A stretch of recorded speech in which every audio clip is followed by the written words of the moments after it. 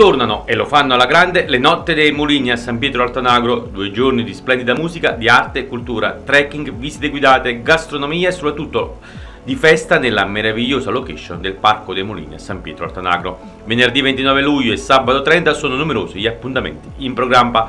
Dal punto di vista musicale si parte con Gerardo e Spacca Paese, poi con Riserva Mock. Il 30 luglio invece sarà il turno di Ritto Antico e direttamente dalle notte dell'Atalanta è in programma l'esibizione dell'Orchestra Popolare per la prima volta nel Vallo di Diano. L'ingresso agli eventi è gratuito e si potrà vivere un'esperienza unica dal punto di vista ambientale e artistico. Si riaccendono così le luci sul Parco dei Mulini, tra il verde della natura, la freschezza dell'ambiente e il fruscio delle acque che alimentavano i vecchi mulini. Si svolgerà la settima edizione della Notte dei Mulini, Rural Festival di musica, radici e tradizioni impopolari a ingresso gratuito uno scenario unico e suggestivo che accoglierà due serate all'insegna di musica popolare, enogastronomia, attività culturali, arte e tanto divertimento a ingresso gratuito. L'evento rientra nel POC Campagna Valle delle Orchidee ed è organizzato dai giovani della Proloco di San Pietro Altanacro patrocinato dal Parco del Cilento Valodiano e Alburni e dal Comune di San Pietro Altanagro. Non solo musica, ma anche numerose attività collaterali per rendere ancora più unico il tutto, dai workshop sul fumetto alle mostre d'arte, passando per il mercato dell'artigianato e convegni e sulla sua tutela.